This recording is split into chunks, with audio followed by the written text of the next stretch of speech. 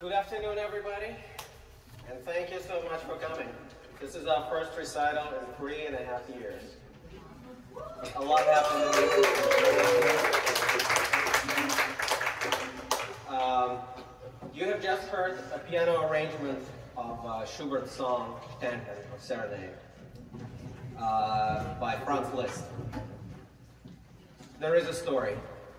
At the time of Schubert's death, at this tragic age of 31, no one on planet Earth has heard this tune, one of Schubert's most uh, beloved and one of the most beloved songs of all time.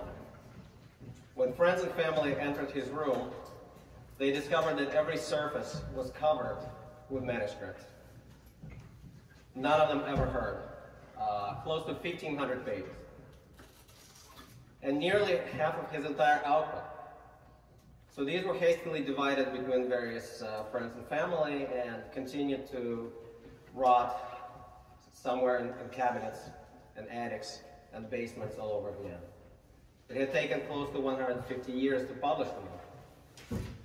It assumed nearly comical proportions when uh, the English publisher George uh, Grove just went to Vienna and went door to door asking, you know, you got anything about this guy?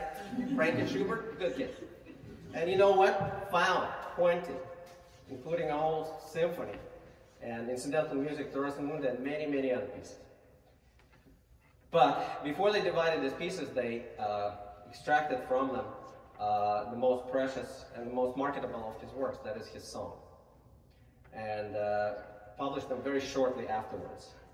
Uh, these were, uh, this was uh, published as a collection called Swan Song, uh, Song. And this piece, Ständchen was uh, part of it. Enormously popular.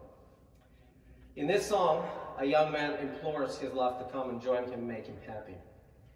In this song, as in Schubert's life, no woman ever came. But many fellow music musicians and music lovers were smitten with Schubert's music and Liszt was foremost among them.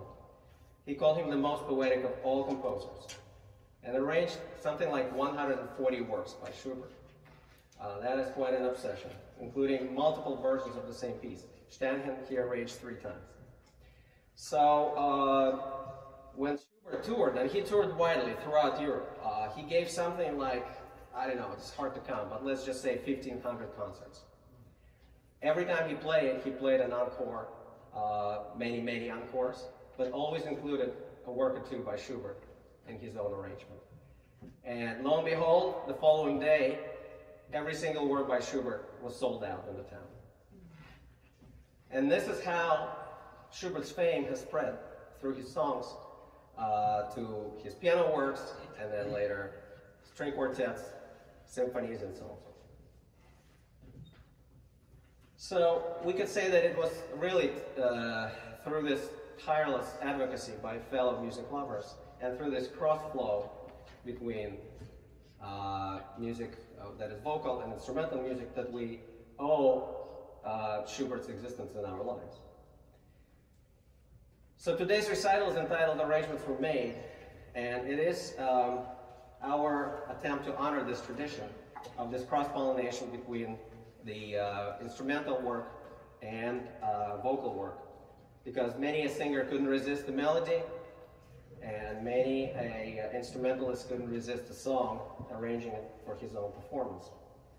Because ultimately they are about what is best in music. A you know refulgent melody floating on top of a coruscating harmony.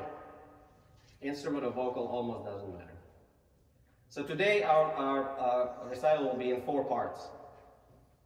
Uh, the first part will be um, uh, instrumental pieces that were uh, given words and arranged to be sung.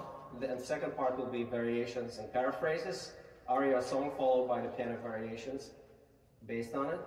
After the intermission, there'll be a, a set of songs that were um, arranged for the piano.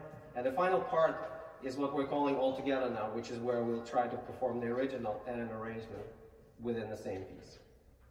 Um, a quick reminder that you know underneath these professionally dry cleaned shirts beat the hearts of two ardent amateurs. So who knows what's gonna happen? Like this morning, I woke up a little bit hoarse. Sorry, no refund.